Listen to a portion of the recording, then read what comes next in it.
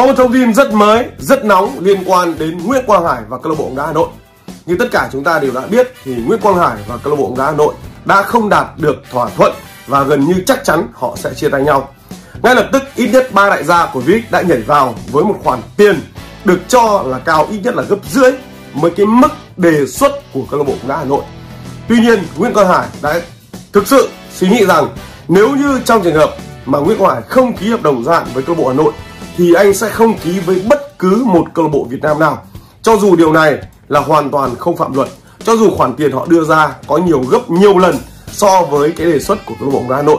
Đây được coi là sự tri ân mà Nguyễn Quang Hải dành cho câu lạc bộ bóng đá Hà Nội, nơi đã đưa mình lên một tầm cao mới và đấy cũng là sự tri ân dành cho bầu Việt. Một người cũng đã dành rất nhiều tình cảm cho Nguyễn Quang Hải.